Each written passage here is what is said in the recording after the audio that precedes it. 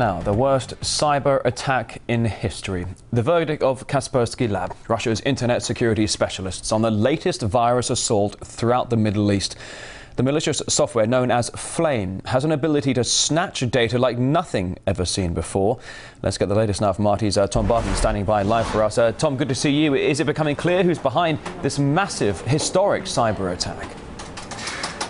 Experts at Russian internet security firm Kaspersky Lab are sure that this is a very complex internet virus, the most complex ever, they say. They've dubbed it Flame. The highest number of infected computers are in Iran, but Israel, Syria and other countries across the Middle East have also been attacked. Flame can make use of a computer's webcams, its keyboard, its microphones and other things in order to grab data, package it up and send it back to its controllers.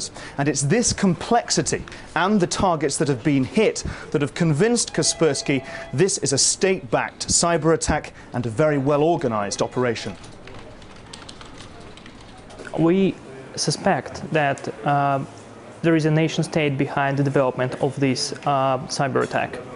And uh, there are reasons for that. This application doesn't fit into any of existing groups that develop cyber attack tools. And we try not to speculate who might be interested in such attacks. We try to base on uh, pure facts we extract from the code, like maybe language characteristics. In, and in this case, uh, we found only traces of uh, good English used inside of that application.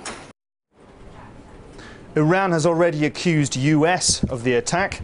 Kaspersky say it's too soon to tell who's behind it, but they have added that this is a new development in the growing area of cyber warfare, and that compared to what's gone before, Flame could be classified as a cyber superweapon. In 2010, the Stuxnet virus targeted Iran's nuclear program. But Flame has 20 times more code than Stuxnet, and it could take years to discover all of its secrets. All right, RT's uh, Tom Barton there. Thank you.